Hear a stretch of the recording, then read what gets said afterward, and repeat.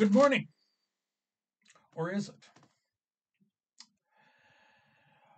After recording Coffee with Pastor, I turned on the news to try to remain abreast of world events.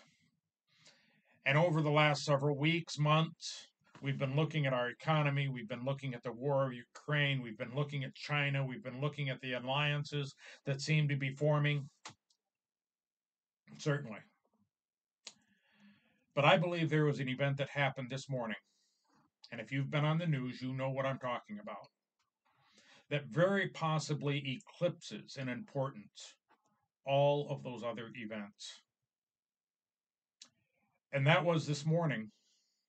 Hamas sent a barrage of missiles into southern Israel. And they are calling this morning Israel's 9 11. Already, it is confirmed, and this was just the last report I heard 100 Israeli civilians are dead, 800 are wounded, many, if not most of them, seriously, if not critically wounded. Hostages taken. People, of course, they're the first reaction we have when we talk about Israel. What's the prophetic significance? I'll be perfectly upfront with you. I don't know. That is not my intent. My intent is to share with you my heart concerning the attack on Israel this morning. Put it simply, I want to go on record as a Christian as a pastor that Israel, I'm behind you. I believe Israel has a right to defend herself. I believe that Israel has a right to defend her citizens and her borders. Israel, I am, count me for one, entirely behind you. Now, having said that, I'm not one who believes that everything that Israel does is right. Many things Israel does politically, socially, that I cannot agree with. But that does not that does not take away from my love for Israelis and for the Jewish people.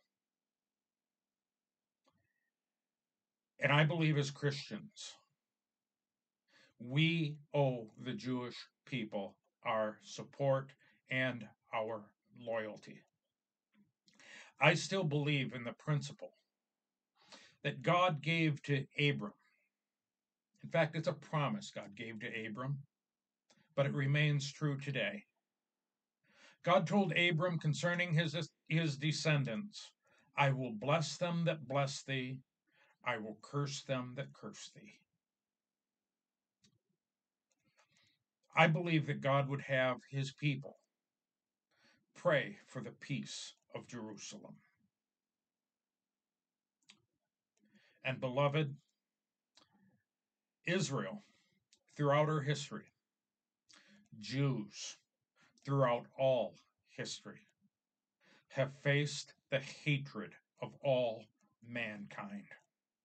Anti Semitism is sprinkled throughout history going all the way back to Genesis, Exodus, all the way into our current day. And it seems like it's rearing its ugly head yet again.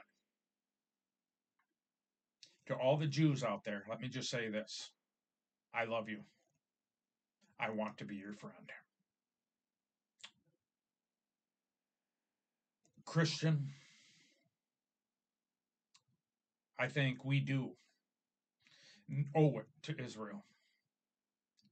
We owe it to our God to love his people and to support her.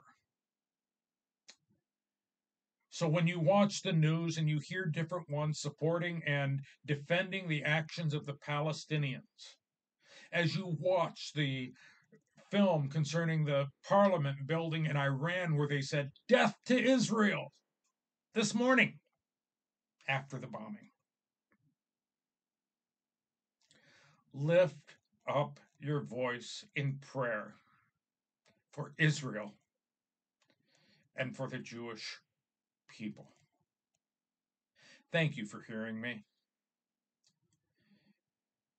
And again, let me just say this if there are any Jews out there listening to me,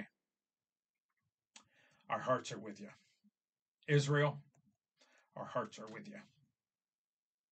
God bless you.